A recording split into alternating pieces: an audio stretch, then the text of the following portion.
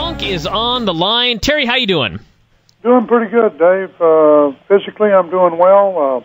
Uh, I wish I could still. Um, I have Terry Funk's cell phone number. I thought it was his home phone number, but it's his cell phone, and uh, I uh, I called it yesterday, and I I guess uh, you know he didn't know what number we were calling from, so he didn't answer the first time, and it goes to the voicemail. And uh, um, what does your voicemail say? Is, is it the generic? I believe it's the generic You have called. Blah blah. 206 blah blah blah. Okay, let me let me play that right now so I can set up this joke. So hold on one sec. I'm gonna call. Uh, I'm gonna call Vince's voicemail.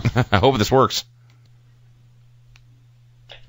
Okay, here we go. So pretend I'm calling Terry Funk. I'm gonna recreate what happened.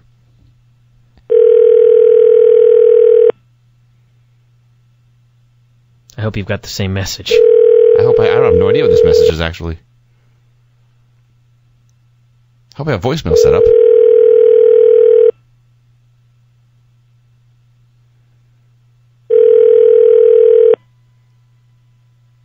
Please leave your message for Terry Funk!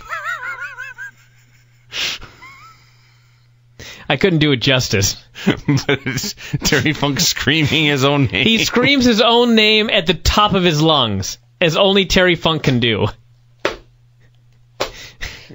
It's like you know the you know the thing just says like press one and then state your name after the beep. So he pressed one and screamed like at, like at the Hall of Fame. He screamed as loud as he could. Terry Funk. This may be a stupid question, but is that his real name?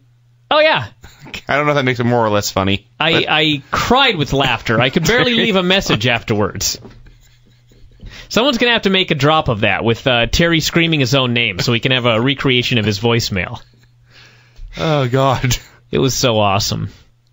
All right, let's. uh Yeah, I should have recorded it. Yes. I'd call it right now, but he, for all I know, he'd answer. He's he's up being crazy right now.